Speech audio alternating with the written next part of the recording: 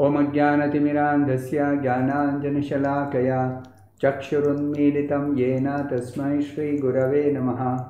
नमां विष्णुपादाय कृष्णप्रेष्ठाय भूतले। श्रीमते भक्तिवेदान्तस्वामिन्निति नामिने नमस्ते सारस्वते देवे गौरवाणी प्रचारिणे निर्विशेषशून्यवादी पाश्चात्यदेशतारिणे जय श्री कृष्ण श्रीकृष्णचैतन्य प्रभुनित्यानन्द श्री अद्वैतगदाधर श्रीवासादि गौरभक्तवृन्द हरे कृष्णा हरे कृष्णा, कृष्ण कृष्णा, हरे हरे। हरे राम हरे राम राम राम, हरे हरे। Past few sessions we have been discussing about the characteristics of the soul. So, as described in the second chapter of the Bhagavad Gita, the soul has very, very wonderful characteristics, some of which we already discussed. So, we will discuss more today. One question that I would like to raise at this stage is why does Krishna say that we have to be equal towards happiness and distress? We should be undisturbed by distresses that may come. Certainly, we have experienced happiness is enjoyable and distress is painful. So, why would Krishna say this? We have to understand Krishna is explaining that these feelings are temporary and they are felt under ignorance. And what is that ignorance? The ignorance is I am this body. So, fundamentally, something is wrong in our understanding about our own self. Therefore, to correct this misunderstanding is very, very important for anybody who wants to actually get out of this repetition of birth and death. It is very important to get out of this ignorance. And therefore, Lord Krishna is personally instructing us in this Bhagavad Gita. One more point that is explained in the scriptures is that although there is nothing good in this world, materially nothing is good, but we have got some mental concoction and we say something is good, something else is bad. In Chaitanya Charitamrita, another scripture, the author Srila Krishnadas Kaviraj Goswami, he says, Dvaite Bhadra Abhadra Jnana Saba Manodharma A Bhala A Manda A Saba Bhrama. This means in the material world there is something we consider as good and something else is bad, but they are simply mental concoctions. They are not a fact. In fact, everything is only bad in this world. There is nothing really good. Just like a man is suffering from some disease, lying on the hospital bed, and he is uh, having so much of uh, uh, pain and he is eating bitter medicine and he is very, very, very sick. And when some friend goes to see him and the friend asks, How are you feeling today? He says, Oh, I am feeling fine. I'm all right. Now, where is the question of this person lying on the hospital bed actually considering himself as fine. It's just not possible. Uh, he is lying on the bed, he is not able to move around, he is not able to do any normal activities. He is taking medicine, he is having so much of discomfort, he is suffering pain, and he is telling, I'm fine, I'm alright. So, our condition is the same. Please don't think that somebody is healthy, they are fine. No. We have to compare our present situation in this world with our original spiritual situation. As I told you earlier, the original spiritual situation is no disease, no death, no old age, no miseries, no scarcity, no anxiety, no worry, no fear. As compared to that situation, what is our present situation? It is filled with anxiety, filled with worries, filled with fear, filled with so many dangers, filled with so many calamities, filled with uh, so many miseries. So there is no comparison at all. So therefore, in this material world, even if somebody thinks I'm very prosperous, I am nicely situated, they are ignorant of the fact that uh, uh, very soon there is going to be death.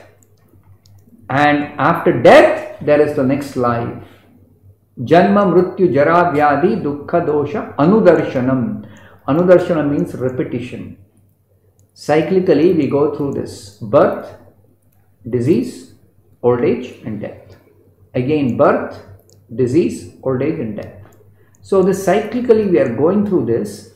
A learned person, an intelligent person, considers where is what is the value of happiness in this world when i have to die and after death i have to enter another body and while living this body i have to experience disease and old age and so many other miseries so many other anxieties as soon as i die i'll be forced to enter a mother's womb and in the mother's womb nine months I had to be in such a uh, awkward position. All of us have gone through it, but we've forgotten. Uh, every one of us. We were in the mother's womb for nine months. What a suffering that is. That we have to hear from the scriptures because we have experienced that, but we have forgotten. That is one of the characteristics of material existence, our present uh, uh, way of living.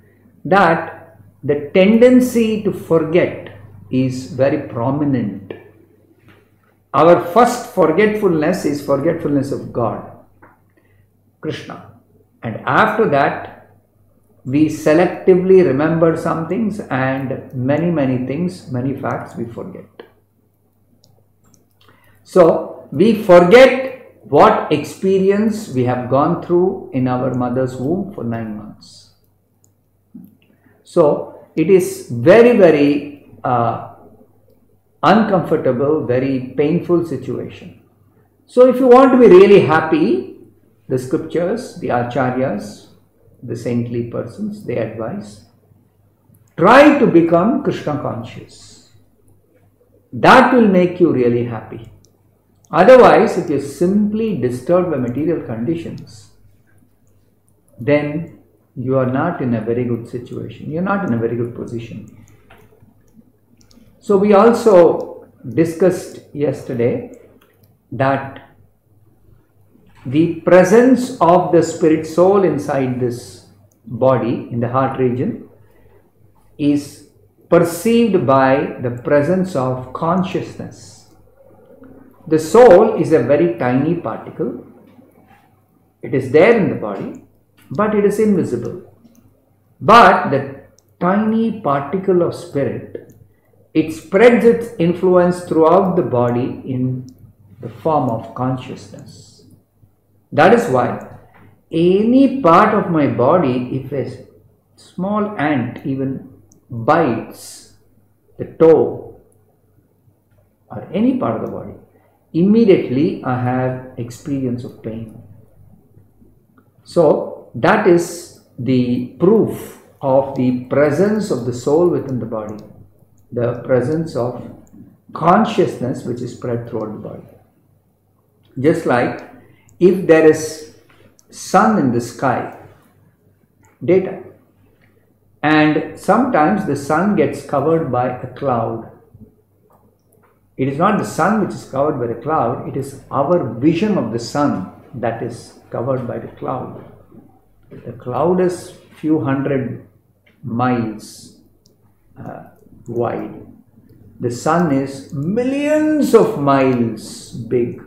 So, a few hundred, 500 mile cloud cannot cover a million miles big sun, not possible. So, it is only covering our vision. So, when the cloud covers my vision of the sun, even though the sun is in the sky, I still can ascertain the sun is there because of the daylight, the sunlight.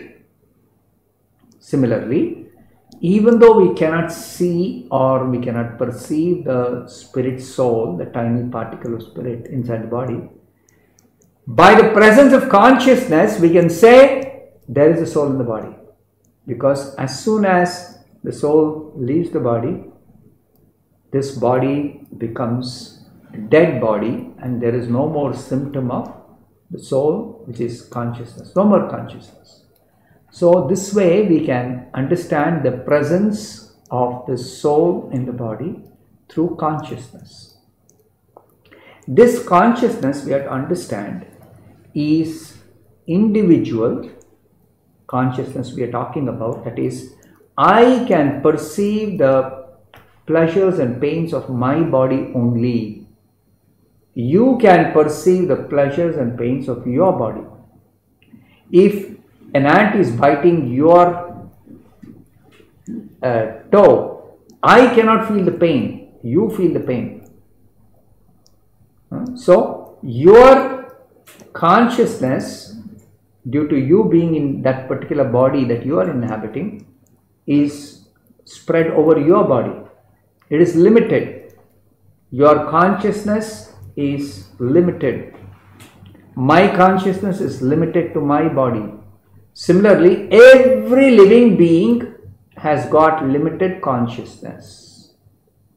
Whereas the Supreme Lord Krishna, his consciousness is spread everywhere and his consciousness is unlimited. This difference always exists between each one of us and the Supreme Lord Krishna.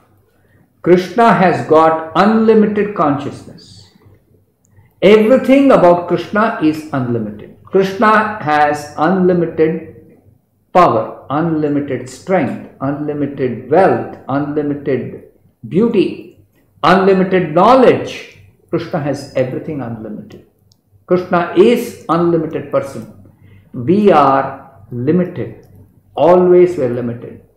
And we cannot become unlimited by any method. Sometimes people think, let me do meditation and become God. No. We cannot become God by any means not possible by doing meditation or by doing any uh, yoga. No, nobody can become God. One more fact is we have been hearing about the soul being unchangeable. The soul is eternally the same. If I am a tiny spirit, soul, very, very tiny, I remain that tiny spirit soul eternally God is unlimited spirit, He is eternally unlimited spirit.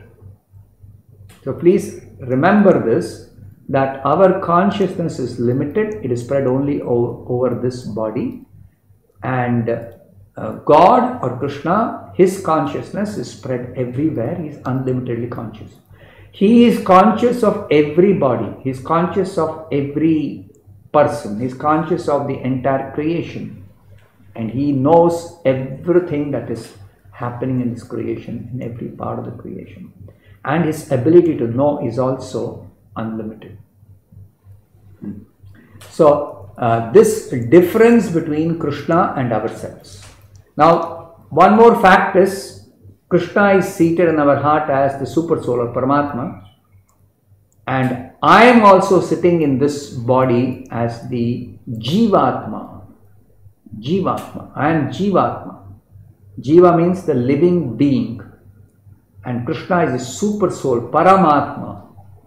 आत्मा Paramatma, Brahman param Brahma like that this difference between the supreme lord Krishna and our self always there is one characteristic suffix or prefix that is added Krishna is param Brahma param dham param pavitram param pavitram is supreme pure He is supreme Brahman. He is a supreme abode. He is a supreme resting uh, uh, place or shelter for everyone. So, like that, Krishna is characteristic, uniquely different and distinct from all of us, from every living being. No living being can become God or can become uh, um, as powerful or as uh, great as God. That's not possible. Also, we discussed about the size of the soul, the dimension, one ten thousand part of the tip of the hair point in size. So it's very, very, very tiny. This is this uh, information is given in the Upanishads. In the Shvetashvatar Upanishad, it is given. It is a spiritual atom. It's a very, very the soul is a spiritual atom, and it can be perceived by perfect intelligence. There's a way how to perceive the soul. Perfect intelligence. That's what the Upanishad explains.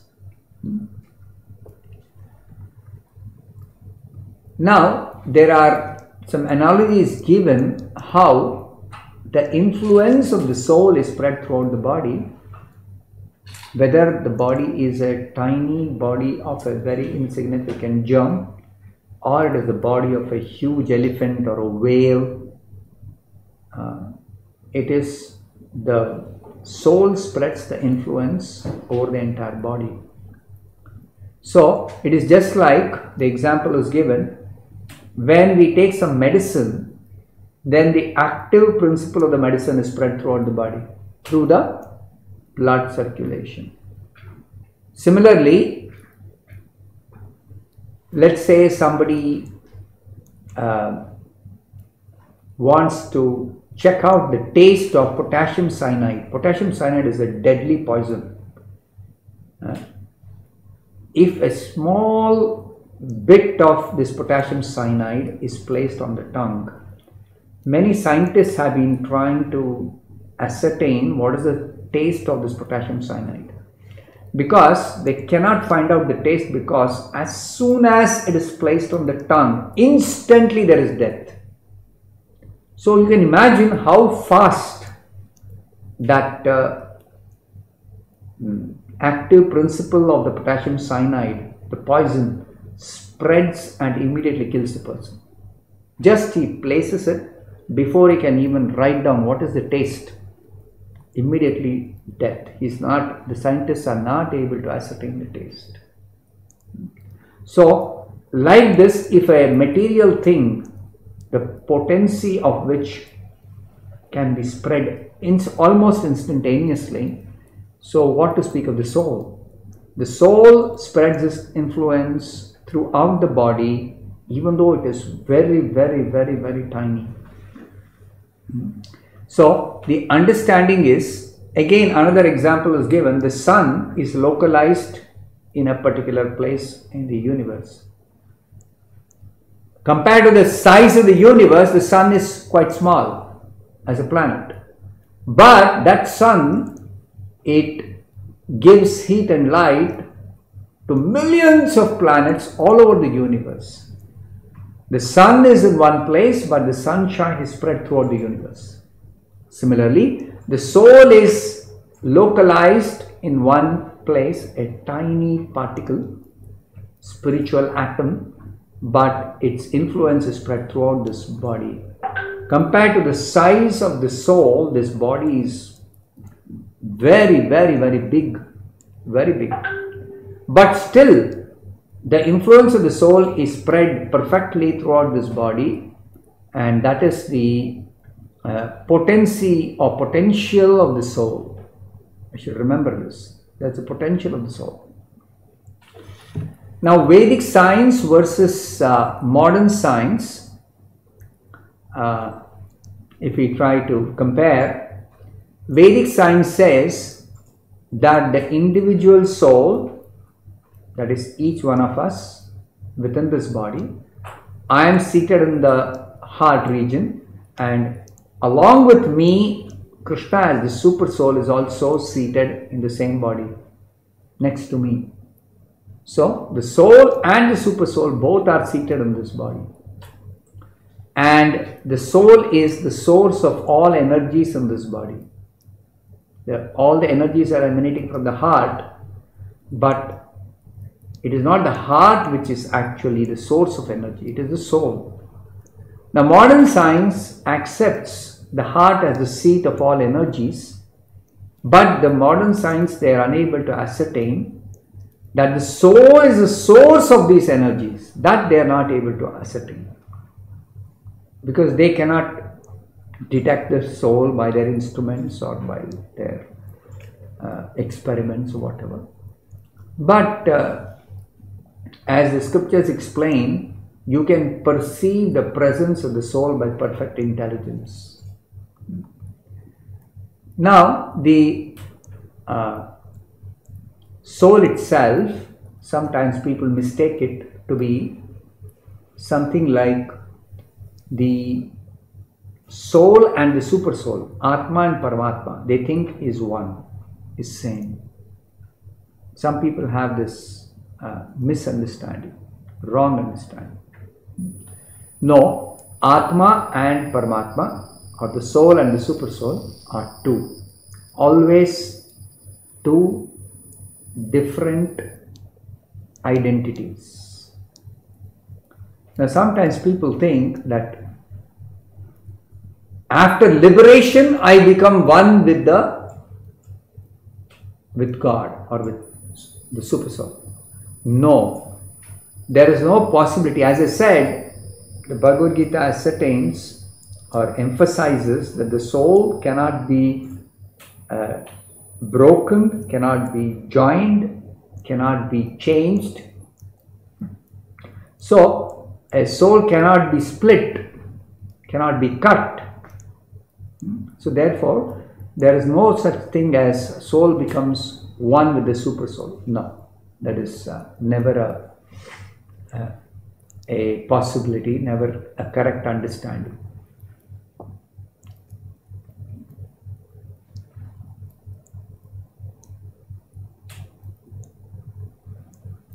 Now, Krishna is emphasizing one more point that the body is perishable and the soul is indestructible, is eternally present.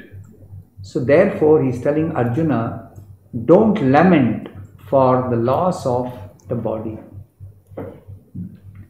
The body is perishable, it is going to die, if not today, after a few years or maximum after 100 years, the body is going to die. And the body cannot be saved. Similarly, the soul cannot be killed, cannot be destroyed, cannot be cut, cannot be in any way uh, destroyed. It, soul will never perish. It's imperishable. So, therefore, Krishna is telling Arjuna, in doing your duty, you need not lament for the loss of the uh, person. The person is a soul and the person is eternal. And after a person uh, dies or leaves the body, then the person gets another body. So, what is the basis of getting the next body? It is according to one's work in this life. So, the practical application of this fact that we are going to get the next body based on the activities we do in our present life, we should follow the religious principles as given in the authoritative scriptures. Then only we can elevate ourselves in our next life. If we don't follow the scriptural injunctions, we don't uh, go by, we don't uh, uh, adhere to the religious principles given in the scriptures, then we degrade ourselves. And degradation means we have to suffer uh, the um, inconveniences, the distress, the pains, the miseries, the dangers, the difficulties, natural calamities. Especially in the lower uh, species, they don't have a sense of uh, understanding that they are suffering and there can be some remedy for it. They don't have. Only a human being thinks that I don't want suffering, still suffering is forced upon me. Can I get some immediate relief? That's the immediate thought that comes when there is some pain or some uh, some distress. Immediately, can I get some relief? But the animals they suffer, but they don't know what to do about the suffering. You see, because they don't have developed intelligence. So degradation to lower species of life is very, very dangerous. Later on, Krishna will describe the greatest danger for a human being is that a person neglects to uh, cultivate Krishna consciousness, spiritual life, and thereby degrades himself or herself to animal species. Next body is certain. After death, we are going to get another body. What kind of body am I going to get? That we should inquire. Whatever body am I going to get? So, one has to at least ensure that one is elevated. And it's very easy to elevate oneself in the next life by simply following some very uh, basic principles of religious uh, uh, conduct given in the scriptures.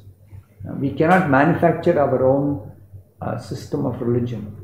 Uh, it is given by God and it is universal, it is same for everyone. So there is no question of which faith you believe in or which uh, uh, system of religion you accept. There is no question of accepting or believing. Uh, no, it is universal. Just like this body, every human body, there is no consideration when there is an infection spreading and people get some disease. There's no consideration whether you believe or what your faith is, whether somebody is Indian or somebody is American or somebody is Hindu or somebody is a, uh, a it doesn't matter. All these bodily designations and mental uh, um, the situation doesn't matter. It is independent, it is irrespective of that. So, therefore, we should always know that uh, the codes of God is what is called as dharma, and the dharma is equally applicable for every human being. Not just every human being, actually, it is applicable for every living being, but at least human beings should follow because they have the intelligence to understand uh, what is this dharma all about. Krishna also highlights in uh, one of the verses the soul is indestructible because of which he is telling Arjuna there is no reason for you to uh, avoid this uh, dharma yuddha. Uh, because the soul cannot be killed, neither somebody can even detect the soul to attack the person. They cannot even detect the soul. So cannot be even seen. It's so tiny. So how they can destroy the soul? It's not possible. So what they destroy or what they kill is only the body. So in a dharma yuddha, for a kshatriya to fight according to religious principles is proper. Is proper. On the other hand, if a kshatriya does not participate in the dharma yuddha, then for uh, neglecting his duty, he'll be punished. Hmm? So, for a Kshatriya, in a Dharma Yuddha, if he does not participate, it is sinful. And for any person who is not uh, uh, there is no dharma yuddha.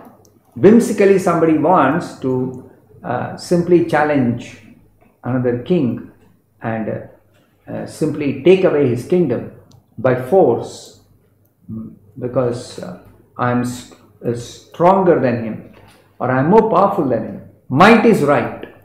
Uh, simply attacking like that and and trying to become powerful that that is against uh, the principle of dharma. Such a king is punishable by the laws of god.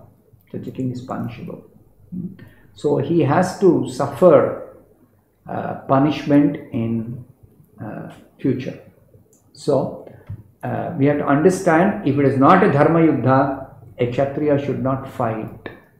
And if it is dharma yuddha kshatriya must fight. So that's what arjuna is being told that uh, that's a dharma yuddha, you should perform your duty as a kshatriya.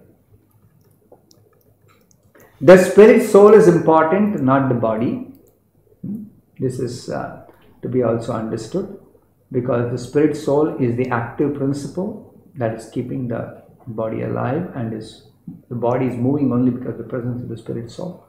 The body is not as important as the soul, though we don't neglect the body we maintain this body as long as we're living in this body we have to maintain the body. But we cannot spend all the time simply for the maintenance of the body.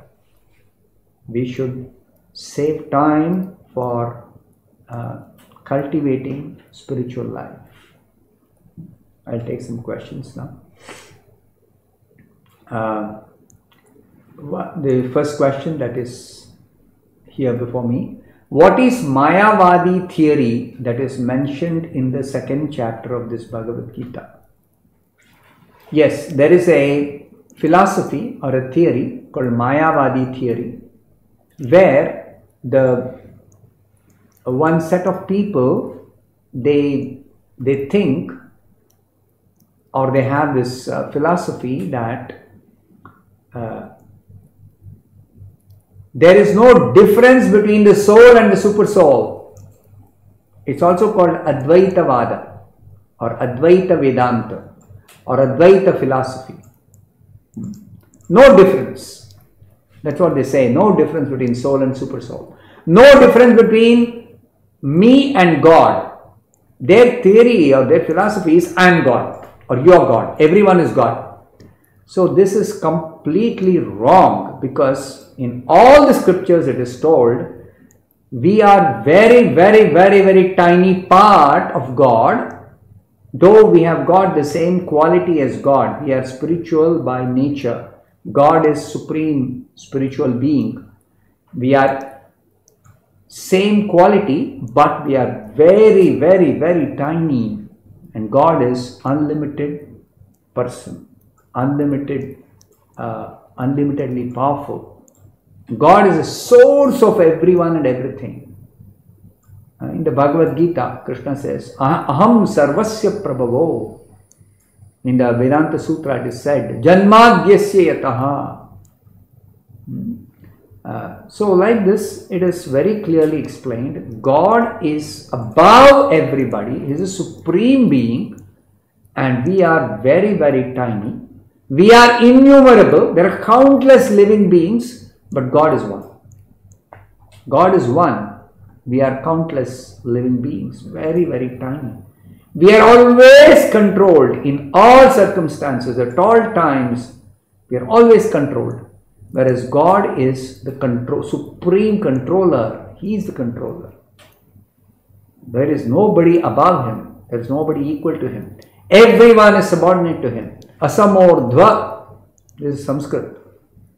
Asamordhva, Asama, nobody is equal to him and nobody is greater than him. Na Urdhva, nobody is greater than him. So everybody is subordinate to him. So this we have to understand. So the Mayavadi theory mentioned in the second chapter is being mentioned by Prabhupada as a, a, a fallacious theory, a wrong theory, a misleading theory. So that is uh, uh, explained by Prabhupada that it is a misleading theory. Um, second question Is the lifespan fixed at the time of birth itself or is it subject to change? For example, if someone has dedicated his life in mission of Krishna consciousness, will he have a longer lifespan? Yes, the lifespan is fixed at the time of birth, but it can change under some particular circumstances. As I explained the earlier, the example of the Kauravas, because they insulted the most chaste lady Draupadi, so their lifespan became reduced and they died an untimely death, akala mrityu. Or somebody gets the blessings of a saintly person, can uh, live a full lifespan or can even extend the lifespan. It is possible.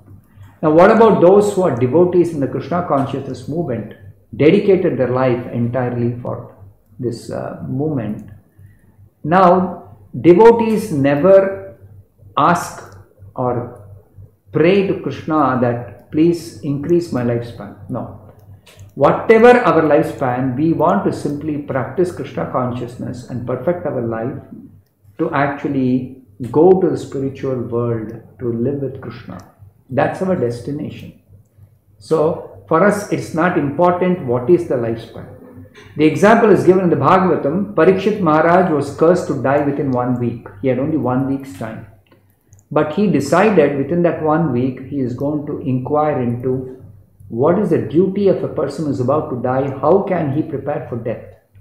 And within the one week he sat and heard the Srimad Bhagavatam and he perfected his life and went back to God, went back to Krishna's abode. Number question number three: How can one remember Krishna at the time of death if he is in coma? Good question. Now, please understand, coma means the person inside that body has withdrawn his consciousness because of this comatose condition. So the person is living inside the body. Person is conscious, but the consciousness is not uh, uh, is not externally active. So externally, the person doesn't know what's happening. He's not externally conscious, but inside the person is alive, active, uh, living. Hmm. All the all the awareness, everything is there. Of course, a person can experience that I'm not able to communicate to others, I'm not able to see others, I'm not able to interact with others, my own family members. But the person is within the body, the person is living. So, before death comes, if the person has practiced spiritual life and can continue to practice spiritual life even in the comatose condition, if somebody had practiced chanting before going into that comatose condition, so in the coma condition also, within that body they can keep remembering Krishna, they can keep chanting Hare Krishna. That is possible. So how to remember Krishna at time of death? By practice of chanting Hare Krishna, by practice of thinking of Krishna, by practice of remembering uh, Krishna in the form of his deity, in the as the holy name, as the uh, description given in the Bhagavatam, etc. So that can go on irrespective of the medical condition of the body. The soul can always be active spiritually irrespective of the bodily condition. So therefore it doesn't matter whether somebody is in coma or somebody is not in coma.